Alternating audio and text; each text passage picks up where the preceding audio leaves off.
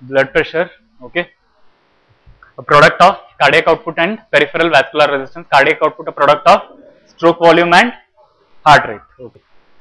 Uh, so all the factors that are going to increase the stroke volume, increase the uh, heart rate and increase the peripheral vascular resistance are going to finally increase the blood pressure. Blood pressure, we'll directly go to the questions, okay. Blood pressure changes by above or below heart level. So, uh, the sphygmo is to be kept at exactly heart level. If you elevate it,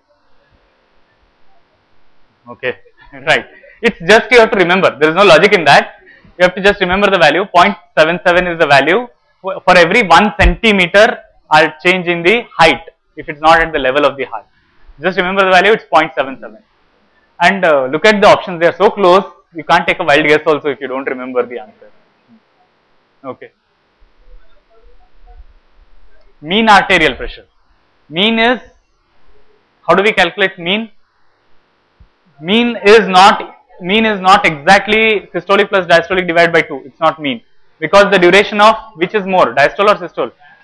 Diastole is more duration. So more weightage has to be given to diastole, less weightage to systole. Let us see the options. Looking at the options, which has more more weightage to diastole is given in option D, 60% diastole, 40% systole. Okay. It's not arithmetic mean. Okay. It's not logarithmic mean also. True about the stroke volume is decreased by increase in heart rate determined by pre-diastolic volume determined by afterload is equal to cardiac output. Stroke volume can't be equal to cardiac output. Stroke volume into heart rate is cardiac output, right? Okay. Stroke volume is per beat. The volume uh, ejected out per beat is stroke volume. The fraction of the volume that is ejected out uh, out of the uh, end diastolic volume is called as ejection fraction. Then stroke volume into heart rate gives us cardiac output. Decreased by increase in heart rate. Stroke volume decreased by increase in heart rate. Yes? True about stroke volume. Okay. Determined by pre-diastolic volume.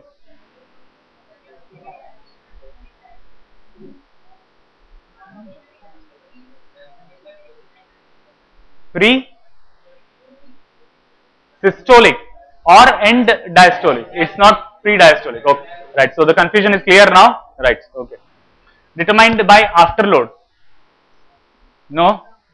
Stroke volume is determined by end diastolic volume that is the preload for the heart is equal to cardiac output. So option here is only one that is a option A.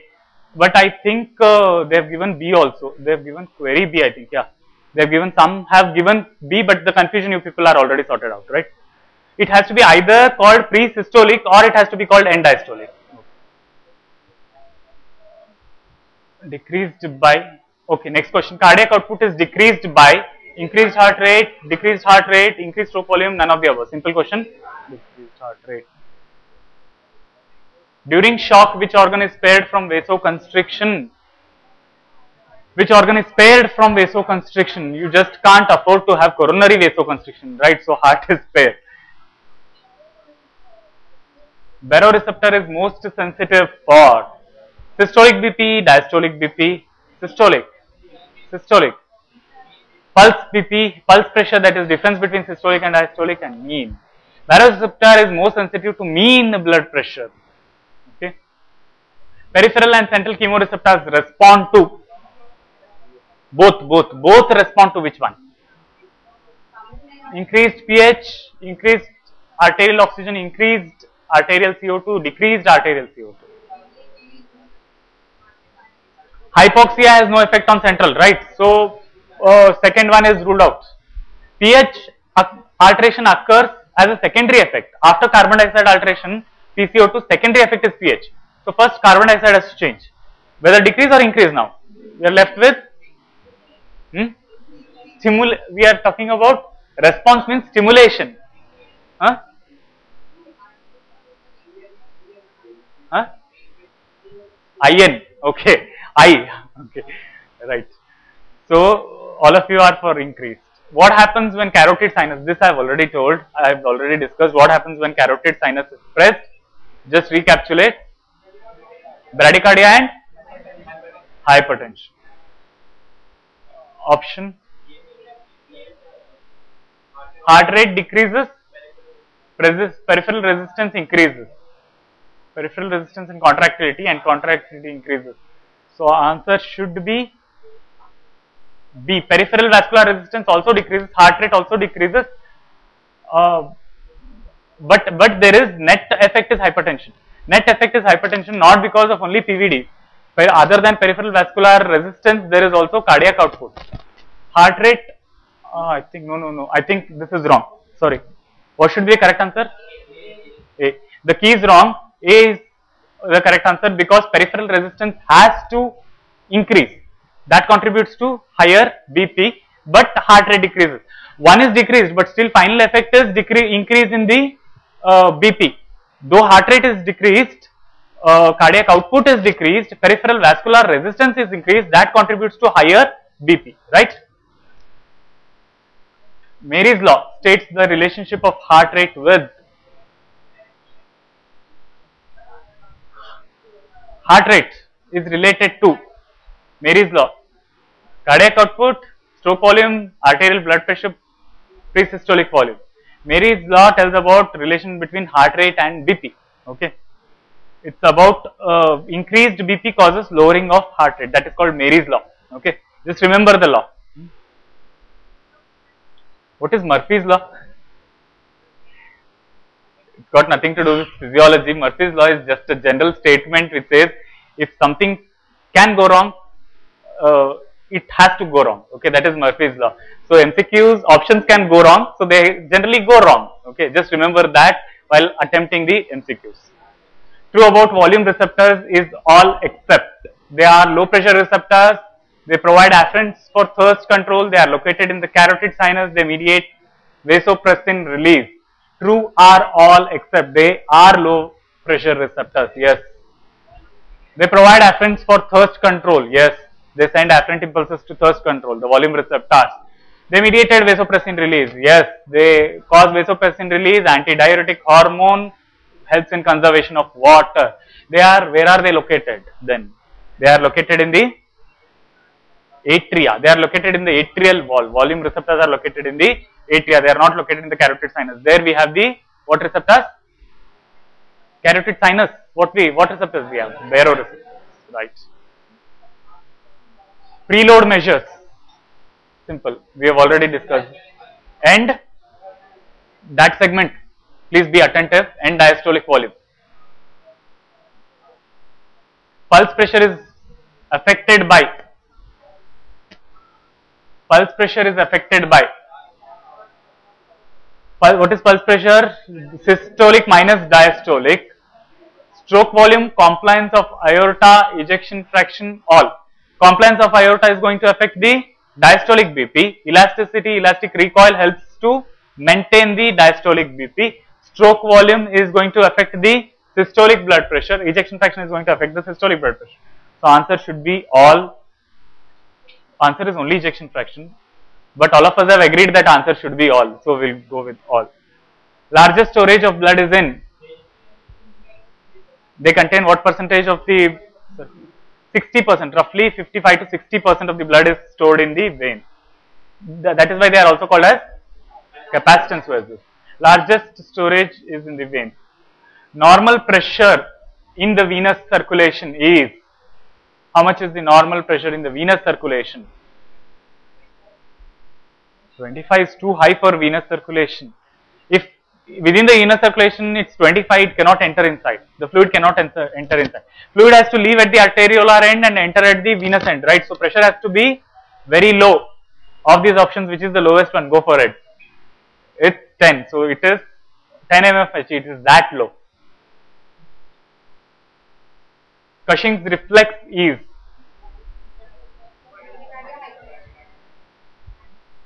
bradycardia and huh? O or E? Hyper. E. Okay, everybody is for E, hyper. Okay, right. True about, it's also called Cushing's uh, triad, which is a manifestation of Cushing's reflex. Okay. True about isotonic exercise is. Heart rate decreases, diastolic blood pressure increases, stroke volume is markedly increased, increased peripheral resistance. Isotonic exercises. Heart rate decreases, diastolic BP increases, stroke volume is markedly increased, increased peripheral resistance, which is true. Isotonic exercises, the tone is fixed. Exercises are of two types, isometric, isotonic. Okay. So isotonic, the tone is fixed and exercises are done. Which are the examples for isotonic? Gym. Okay. Bodybuilding exercises are all isotonic. Okay. Which one have, what happens? Isotonic, the stroke volume has to in, increase very much to compensate for that. So answer is increased stroke volume. Muscles shorten against a constant load. The load is fixed. Okay, you are lifting 5 kgs, you are continuously lifting 5 kgs only at that moment. The tone is fixed. Okay. Uh, then uh, weightlifting and running is also an isotonic. Isometric are the tone increases, the length is fixed. Try to push against a wall, you cannot push a wall. You can you actually push a wall? So there is no change in the muscle fiber length, but the tone is going on building up inside. Isometric differences are there is quick there is increase in both. Both of them they cause increase in heart rate, but more increase in isotonic. Weightlifting heart rate increases more.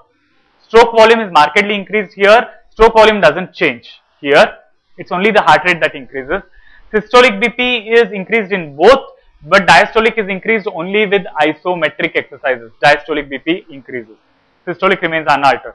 So as a result, mean blood pressure, there is hardly any increase in the isotonic, whereas isometric, there is lot of increase in the mean BP. Just remember, systolic increases, diastolic increases, so as a result, mean also increases in isometric exercises whenever you are trying to push against a wall.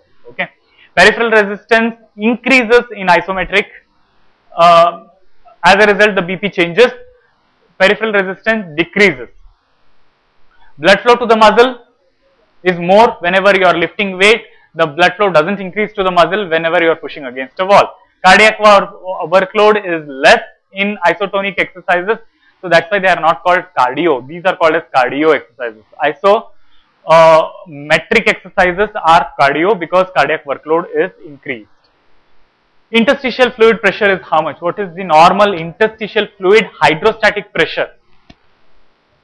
See, there are uh, two opposing forces for entry of fluid back into the veins. One is uh, intravenous hydrostatic capillary uh, the hydrostatic pressure and then interstitial fluid pressure.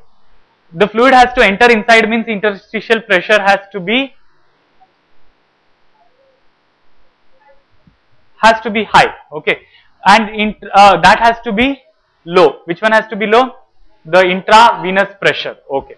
But generally, uh, if you go by the mechanics of the Starling's forces, interstitium hardly has any pressure inside that. It is to the extent of negativity. So, how much should be the answer here?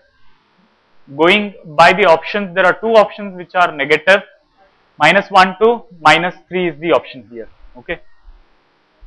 Problem arises when they give very close uh, this thing options. Large arteries are Windkessel effect that is elastic recoil which restores the diastolic blood pressure. That's why they are also called as Windkessel vessels. Which are they? The big, the aorta and its major branches. Maximum resistance is found in resistance vessels. So Windkessel vessels, elastic recoil, capacitance vessels, veins containing maximum blood, arterioles offering maximum resistance to the flow called resistance vessels, arterioles. Velocity of blood flow is maximum in. Velocity will be maximum in the one which is widest. So the widest are the arteries which are widest are aorta. True about lymph flow is increased compression of the vessel, increased by compression of the vessel. When the vessel is compressed, obviously there will be obstruction to the lymph flow, lymphatic vessel obstruction decreased by uh, increased by exercise. It happens through valveless vessels. It's a low pressure system. Lymphatic system is a low pressure system. If it has been pushed further if there is no valve it will come back. So it has to be valved system. Veins and lymphatics are valved systems okay? Decreased by adjacent arterial pulsation. Arterial pulsation will in fact compress the lymphatics so that will cause obstruction. Only exercising which which will improve the contraction of the muscle and muscles will help to propel the lymph After propulsion, the valves will hold back, so the lymph doesn't come back. Okay. Just remember, lymphatic is a low pressure system. Pulse pressure is defined as systolic minus diastolic. Direct Fick method of measuring cardiac output requires estimation of, there are different methods of measuring cardiac output. Direct, one is called as Fick method. For Fick method, what all you need to estimate?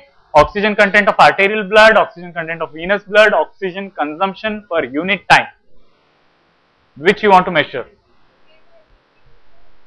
Fick principle depends on utilization of any uh, substrate or nutrient present in the blood flow to an organ. So, how much comes, how much goes and how much is taken away. All three you require to estimate through using Fick principle. So, you have to measure all of the above. Okay. Time taken for arterio, arterial venous transit is, remember the value, that is all, no logic.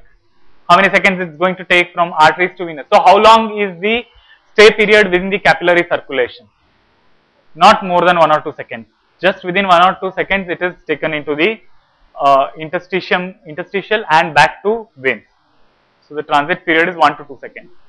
Most permissible capillaries are seen in the organ which is highest seat of metabolism, the capillaries has to be most permissible there so that the transmit, transit time is highest and the uh, the blood stays for longer period there so that metabolism can occur, metabolic changes can occur. So, which is the one which is metabolically most active here? Liver. So, everybody agrees. So, we go for liver. Pulmonary lymph flow rate is, it is, I said it is low pressure system, it is a slow system, it is having valves, it is compressible system. So, the rate is slow. So, which you want to go for? The slowest rate? Go for the slowest slowest rate is 20 we'll go for slowest. Okay? Of course options might be changed next time. It might be 10 20 30 that time don't go for 10 so just remember 20 ml per hour. Okay? Is the flow rate pulmonary flow rate.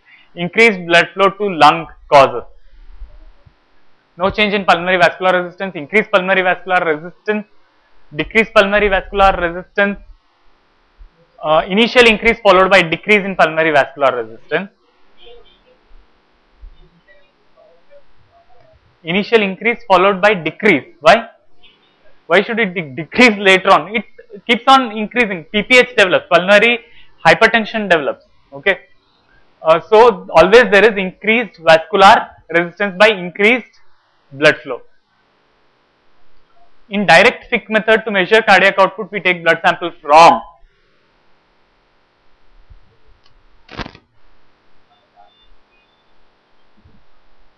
okay so, you have to just remember which is carrying oxygenated, which is carrying deoxygenated blood, then we can estimate. Femoral vein, bronchial vein, pulmonary artery, pulmonary vein. Pulmonary vein why? Carrying oxygenated blood. All others are? Okay. but it is not the lung tissue which we are going to use we are going to use the cardiac utilization. In that case, artery, okay, right. So, answer is pulmonary artery. Your logic was correct, but provided we use lung tissue for estimation. But generally, it is not the lung that is used.